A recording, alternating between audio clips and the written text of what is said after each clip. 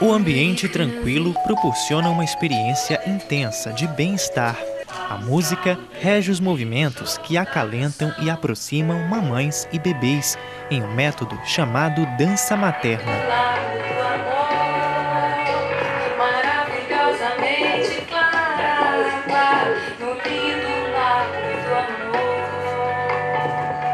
Os benefícios, eles vão muito além de colocar um bebê no sling e sair dançando. São benefícios sobre os aspectos emocionais, né, corporais. Primeiro porque traz um olhar especial da mulher do pós-parto, possibilita que ela é, saia de casa, tenha uma vida social nesse momento de adaptação com ela e o bebê, porque na aula ela pode trocar experiências com outras mães, pode amamentar,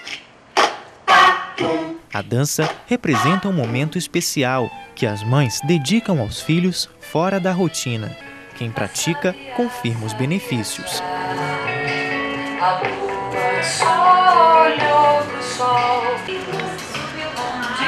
Os bebês interagem na terapia com calma e naturalidade.